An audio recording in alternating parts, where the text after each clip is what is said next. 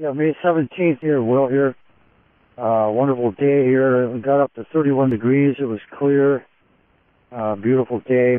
And, uh, setting was perfect. I was on the Oleson River first half of the day.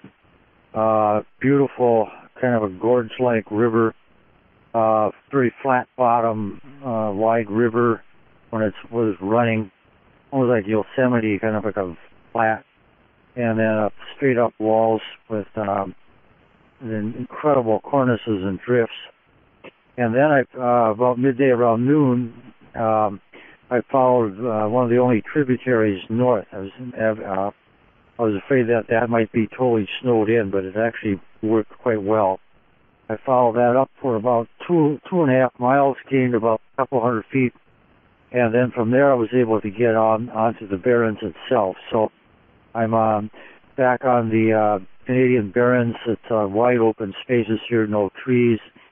Uh, this area that I'm in, there's no landmark whatsoever. Very easy here to get lost. I'm I'm camped on a lake. Um, the only way I know it's a lake was just marked on the map, and I found it with the GPS. But yeah, I was able to stake down my tent here. It would take um, the the tent very seriously. Um, uh, in this wide open spaces here because of the storms. Uh, and really come up as high here too. It's about nine, 900 feet, 800 feet, which is quite high for uh, the Barrens. I'm getting into the uh, more of the divide area uh, between the Thelon and the back. And um, and if you haven't tuned in, uh, I'm on Plan B here. I'm no longer going to Baker because I have to be home at uh, J- um, June 7th. So uh, my Plan B was to go north. Uh, uh, get into the divide between uh, Thelon and the Back River further north here, cache the canoe, and then come back next year, and then head north to the Arctic Ocean from here. So I'm on that plan right now, and um, so I'm up high, uh, camped at a very beautiful place. It's, it's clear right now.